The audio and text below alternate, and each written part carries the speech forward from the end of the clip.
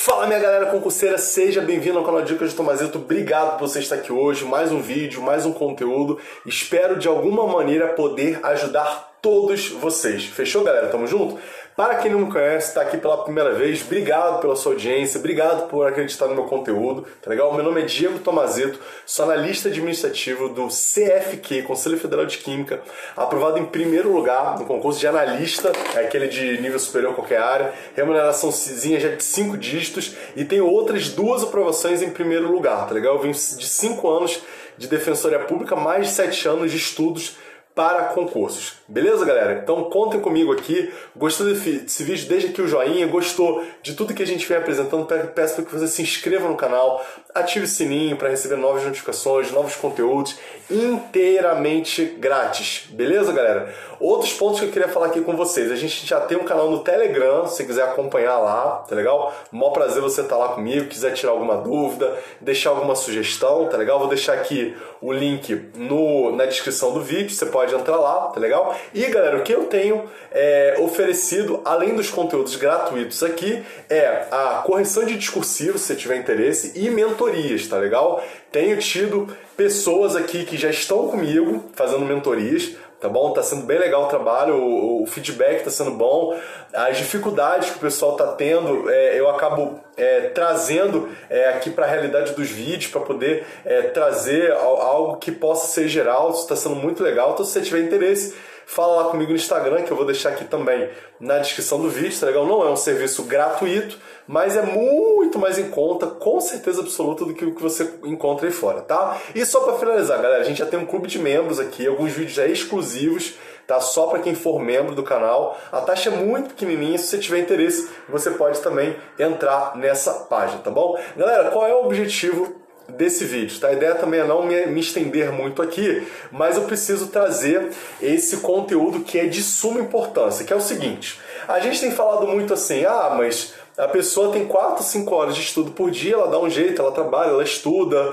é, faz, outros, é, faz uma faculdade, enfim. Então ela não tem muito tempo para estudar. Só que aí veio uma pergunta que eu achei interessante. Tá, Diego, e se eu tiver tempo para estudar? Como é que a gente pode é, lidar com essa situação de você ter mais tempo livre ou de de repente isso é, se materializar aos sábados e domingos? Né? Eu tenho condição de aumentar, de estender minha carga horária, eu já estou em, em, período de, de pós-edital. Né? Como é que eu posso fazer para eu estender tá, meu, os meus estudos, tá? Então, na verdade, galera, o que eu trouxe aqui é um plano de estudos, tá? Eu vou deixar inclusive ele aqui. Se vocês tiverem interesse, vocês podem estar tá baixando aqui no, na descrição do vídeo. Esse é um plano de estudos exemplificativo do concurso do Ministério Público do Pará, mas eu posso fazer isso para outros concursos, se vocês tiverem interesse, só me avisa aqui, manda uma mensagem para que eu possa é, desenhar isso para vocês, tá legal? Mas assim, galera, o que eu quis trazer aqui para vocês é como que você pode aproveitar o seu dia, tá legal? Estudando pesado, pesado, que é o que é demandado, né? Principalmente quando você está em período de pós-edital, tá bom? Então eu trouxe aqui para vocês é, a configuração, então eu vou aumentar aqui um pouquinho para a gente fazer esse acompanhamento. Não tem muito erro não, tá legal? Então, galera, eu coloquei bem passo a passo. Vocês só me desculpem ali no último horário, eu acabei não alterando, tá? Mas acho que dá, deu para deu pra pegar bacana aí o, o, geral. Depois eu vou fazer a correção para deixar o material disponível aqui para vocês, tá? Então, assim, vamos lá. Galera, beabá. Tô trazendo aqui o beabá para você, tá? O que, que você vai fazer todos os dias? Você tá com tempo, você quer estudar pesado. Quer estudar pesado, Diego. Meu negócio agora é botar o negócio para realmente para execução, beleza, tá? Então vamos lá. O que, que a gente tem aqui, tá bom? Coloquei vocês para acordar 7 horas da manhã, um bom horário, não precisa ser muito cedo, tá? É um horário bacana, tá bom? Você vai acordar, vai escovar seu dente, vai tomar um café, papapá. Galera, não mais do que 30 minutos. Você está estudando, você está em pós-edital, tá legal? Então você vai, 7 e meia da manhã, você já vai começar a estudar. Então de 7 e meia, 7 e 50, lembra que eu falei aqui quando a gente fala em plano de estudo? Você vai ver, você vai fazer a revisão diária do dia, do dia né, passado, tá legal? Então você vai pegar tudo que você viu, tá? 20 minutos, Você pega pesado e você consegue é, zerar o que você viu na, no dia anterior e você consegue ter aquilo que eu chamo de avanço responsável. Você vai conseguir avançar na matéria sem deixar nenhum débito tá? É, para uma possível é, revisão lá na frente, beleza? Bom, aí o que, que eu fiz aqui, tá, galera? Só para vocês entenderem, tá? É, o edital do, do MP do Pará, ele tem essas matérias aí, são um total de seis matérias, para vocês estudarem, fora a legislação, seria a sétima, tá? Então o que, que eu fiz aqui? Eu trouxe é, da seguinte maneira, vamos lá, qual foi a métrica aqui? É só uma sugestão, pelo amor de Deus. Você vai estudar por dia duas horas de PDF de uma matéria. Então por isso eu coloquei ali, horário 2, 8 às 10, língua portuguesa. Só, acabou, tá legal? Você vai descansar meia hora, vai, vai, sei lá, vai lanchar, alguma coisa assim, enfim, né? Beleza. Quando der 10 e meia, você vai pro YouTube e você vai pegar vídeos, ou YouTube, ou videoaulas do teu curso, tá? Eu prefiro YouTube, galera, porque o YouTube ele é mais objetivo. A videoaula fica 400 horas falando do mesmo assunto, cara. O YouTube não, você pega lá um assunto, às vezes o cara vara tudo em um, 3, 4 horas, entendeu? É isso que eu quero, é isso que eu acho que é mais efetivo para vocês, tá? Então você pega o YouTube, por exemplo, eu botei ali de administração pública, tá bom? 10 e meia a meio-dia. Meio-dia você vai parar e aí você vai voltar uma e meia. Olha, tô sendo, cara, tô sendo bonzinho. Uma hora e meia de almoço. Você consegue até dar uma soneca, se, tu, se for o caso. Que a ideia, galera, deixa eu só fazer um pequeno parênteses. A ideia é você fazer do seu estudo, tá? Como se você fosse, como se você estivesse trabalhando tá legal? Você acorda às 7 horas da manhã, 7 meses você já tem que estar tá pegando pesado, meio-dia você para, 1 e meia você já volta, tá legal? Tô colocando como se você estivesse trabalhando pesado. A diferença é que você ainda tem um horário noturno, se você achar que faz sentido, e, é, ir pro, pro horário da, da noite, tá legal? Eu acho que faz sentido, principalmente quando você está lidando com é, um período de pós-edital, tá legal? Então, beleza. Então, 1 e meia a 15h30 você vai estudar informática duas horas, beleza? Vai descansar mais meia hora, tá legal? E você vai pegar um YouTube, tá? De 16 às 17 horas. Ou se você quiser, você pode estender até as 17h30, que aí você vai ter meia hora para você começar o teu período noturno, tá legal? Então, beleza. Então, pegou, foi até 17 a 17h30, 18 horas, você vem com direito civil, de 18 às 20 horas. Para você fechar o dia, como lá no, no MP do Pará você tem algumas legislações específicas, eu separei com o pessoal 30 minutos por dia para você fazer legislação. Então, digamos que 8 horas você termine, né, direito civil, você dá mais uma meia hora de descanso, de 8 e meia às 21 horas você faz a legislação e, cara, você fecha o teu dia, fecha o teu dia bonito. Não acho que você canse muito, tá? Porque você tem essas pausas, tá? Esses horários, quando eu falo duas horas de estudo, galera, com certeza, o ideal seria você, por exemplo, estudar para língua portuguesa. Você vai estudar de 8 a 8 e 50.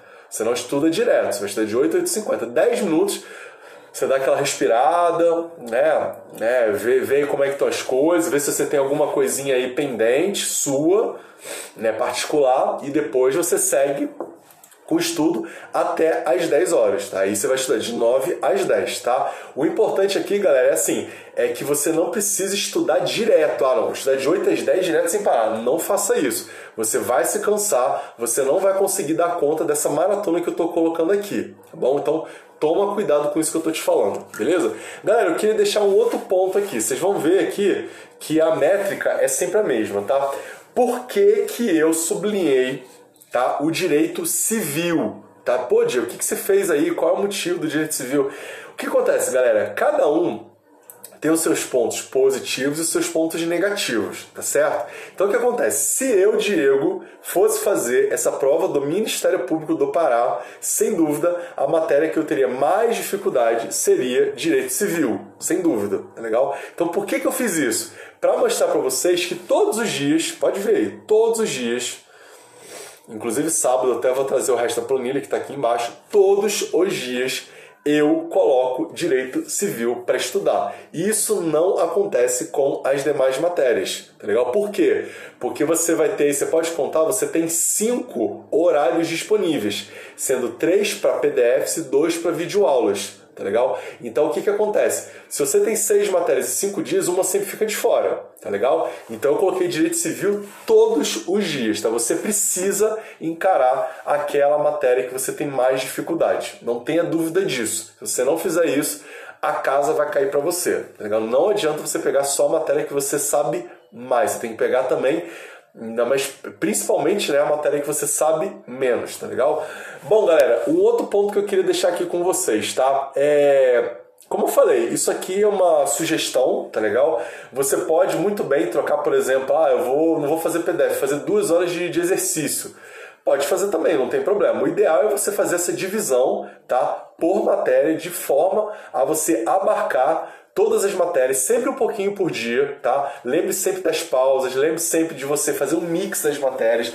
Ah, não, vou pegar duas matérias e vou zerar. Não faça isso, você vai se cansar. Por quê, galera? Porque isso aqui é uma maratona, é sério, é pesado pra caramba esse estudo aí. Pode contar aí, quer ver? Vamos contar comigo aqui? São 20 minutos de revisão diária, 2 horas, 2 horas e 20. Aí mais uma hora e meia de, é, é, de YouTube. Aí você vai para 3 horas e 50. Aí você vai mais 2 horas de, de, de PDF. Né? Aí você vai para 5 horas e 50. Aí mais uma hora de YouTube, 6 horas e 50, tá legal? E depois 2 horas de é, horário noturno são 8 horas e 50. Com mais 30 minutos de legislação são 9 horas e 20 minutos. Então é muita coisa tá legal? Esse aqui é realmente o, o, o plano de estudos, assim, para mim, pra minha opinião, hard level, tá legal? Que você estuda 9 horas e 20, mas assim, em relação a horas líquidas, você vai bater algo em torno de 7 a 8 horas, o que é um número espetacular, galera. Não é necessário isso tudo para você passar na prova, mas assim, em se tratando de um pós-edital, realmente esse tipo de esforço que eu estou colocando aí para vocês vale demais, tá legal? Por quê? Porque você precisa agora realmente fazer o diferente, senão é, teu concorrente vai fazer melhor e você vai ficar para trás. E eu acredito que você queira estudar para passar nesse concurso e não para você só fazer mais um número, especialmente aquelas pessoas que são aprovadas no cadastro de reserva. E aí o cara é aprovado no cadastro de reserva, não é chamado, fica frustrado precisa continuar estudando. Tá bom, galera? Espero que vocês tenham gostado, tá? A ideia realmente é trazer algo mais pesado, tá legal? É difícil você manter isso aí. Eu sei que muitas pessoas têm seus compromissos, tá? Eu entendo perfeitamente. Mas se você tá afim de estudar pesado nesses últimos, sei lá, dois meses faltando para a tua prova, né? No caso do MP do Pará, a prova vai ser daqui dois meses. Então, se você quiser pegar pesado, você tem uma sugestão. Isso vale também para TRT, né? Para os TJs que estão vindo, Receita Federal INSS, tá bom? Então fica essa sugestão. Querendo, vai ter aqui o, é, na descrição do vídeo o endereço para você buscar esse plano de estudos. Estou à sua disposição para montar outros, né? Mas aí vai depender da demanda, tá, galera? Eu não vou ficar montando aqui, né? Se a pessoa realmente falar, ah, deixa isso para lá, não tô afim, enfim. Então fica a, a critério realmente de vocês. Estou aqui para ajudá-los, tá bom? Contem comigo, espero que vocês tenham gostado do vídeo. Estou à sua disposição. Fechou? Tamo junto? Um abraço, valeu, fui!